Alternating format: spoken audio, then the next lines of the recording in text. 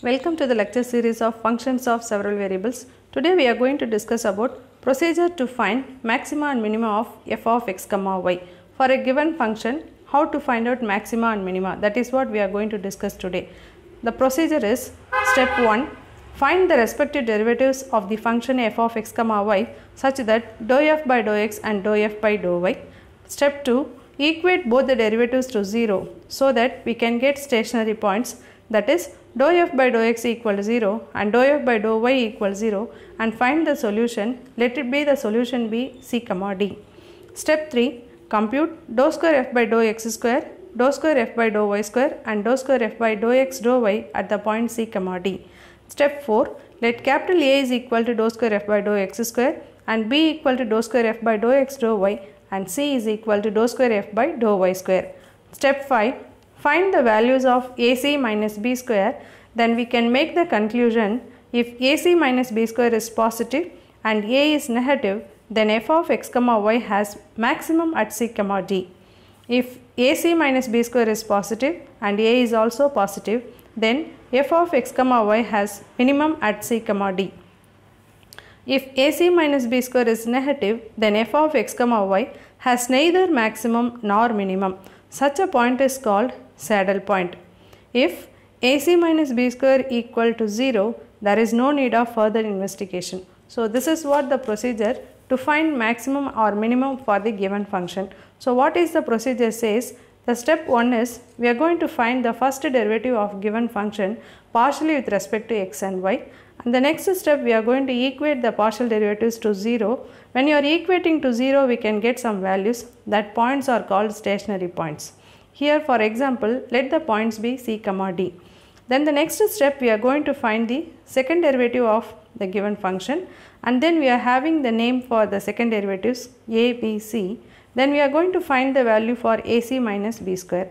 According to the value of ac minus b square and capital A at the points we have the conclusion. The conclusion is AC minus B square value is positive and A is negative at the point. We can say that the function has maximum at the point. So, how to find out maximum value? We can substitute the point in the function so that we can get the maximum value of the function. If AC minus B square is positive, A is also positive, we can say that the function has minimum at the point C comma D to find the minimum value, we can substitute the point in the function so that we can get the minimum value at the point.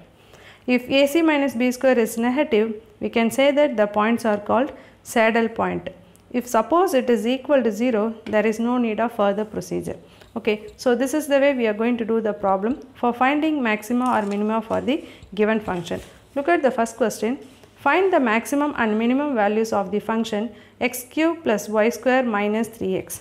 So, the same question can be asked examine the extreme values of the function okay. So, the same question can be asked examine the extreme values. So, it is understood that extreme values means maximum and minimum values okay. So, the same question can be asked like that also.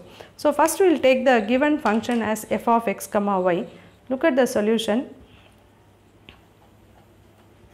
let f of x comma y equal to given function x cube plus y square minus 3x. Okay. So, what is our procedure? The procedure says first step we are going to find the partial derivative with respect to x and y.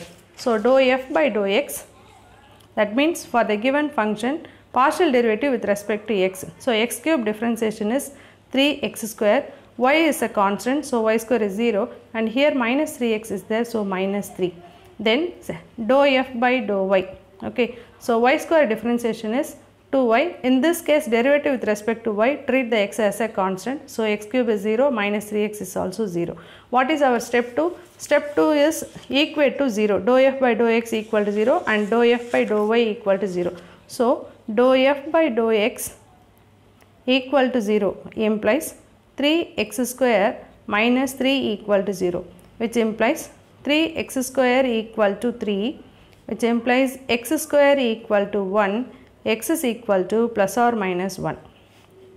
Like this dou f by dou y equal to 0 implies 2y equal to 0 that is y equal to 0.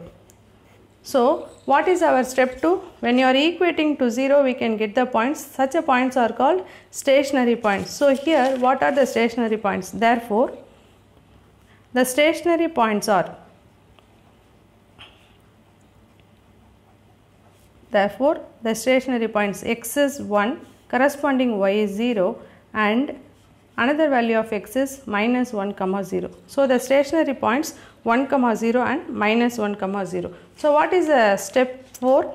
Next we are going to find dou square f by dou x square, dou square f by dou x dou y and dou square f by dou y square. We will give the name for a, b, c the second derivatives. Okay. So, second derivatives dou square f by dou x square equal to dou square f by dou x square is nothing but dou by dou x of dou f by dou x. That means 3x square differentiation is 6x and dou square f by dou y square that is 2 okay dou by dou y of 2y that is a 2 and then dou square f by dou x dou y. This is nothing but dou by dou x of dou f by dou y. Already we got this dou by dou x, dou f by dou y is nothing but 2y. Okay, here partial derivative with respect to x and here we are having only y term. So obviously this value is 0. So now we are going to take the value as capital A equal to that is dou square f by dou x that is equal to 6x. Capital A is nothing but dou square f by dou x square that is 6x and B b equal to dou square f by dou x dou y that is 0 and the last one c is equal to dou square f by dou y square that is equal to 2. Okay. So, we have completed up to step 4. Now, the last step that means we are going to find the value of AC minus B square at the point that is the stationary points so that we can get the conclusion. Okay. So, AC minus B square. So, now AC minus B square what is our A? A is 6x and what is our C? C is 2 and B value is 0. Okay. So, what is this? This is equal to 12x. So, AC minus B square equal to 12x. So, what is our procedure? The procedure says that find the value of AC minus B square at the point C comma D. That means at the stationary points. What is the stationary point? First point will take 1 comma 0. Okay. At 1 comma 0,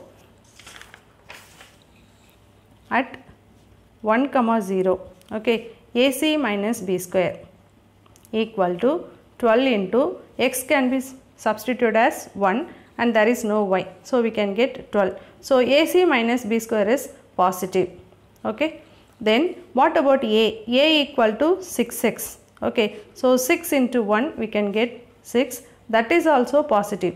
Okay. So, what is the procedure says if AC minus B square is positive, A is also positive. That means what? Then f of xy has minimum at the point. Okay. So, according to the procedure, f of x comma y has minimum at the point 1 comma 0.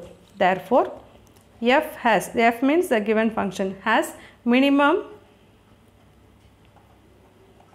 at 1 comma 0. Is it clear? AC minus B square is positive, A is also positive, therefore F has minimum at the point 1 comma 0. Now, how to find out the minimum value? The minimum value is, the minimum value is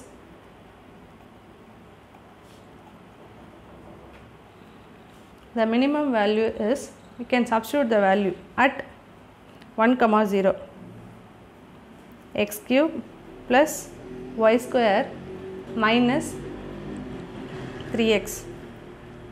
Okay. So, x value is 1 and y value is 0 minus 3 into 1. Okay. So, 1 minus 3 is equal to minus 2. Therefore, the minimum value is minus 2. Okay. What is the next stationary point? Next point is minus 1 comma 0. Okay at minus 1 comma 0 AC minus B square.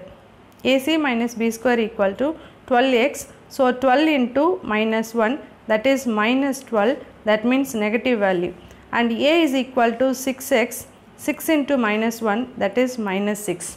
Okay. So, A AC minus B square is negative. So, AC minus B square is negative means such a point is called it as saddle point. So, AC minus B square is therefore AC minus B square is negative. Okay. Therefore, F has neither maximum nor minimum.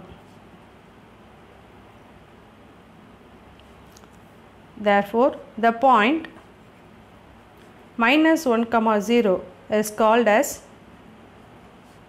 called as saddle point. Okay, so this is the way we have to do the problem. In this question, we have only two stationary points that is 1 comma 0 and minus 1 comma 0. That is the reason why the problem is completed up to this. If suppose we have more points, we will continue the procedure. So, how to do the problems under the maximum and minimum? First, we are going to find the partial derivative with respect to x and y and then equate to 0 we can get the stationary points. After that we are going to find the second derivatives then find the value of AC minus B square and capital A value according to the value we have the conclusion. So this is the way we have to do the problem finding stationary points itself a 2 mark question. Okay. Thank you for watching.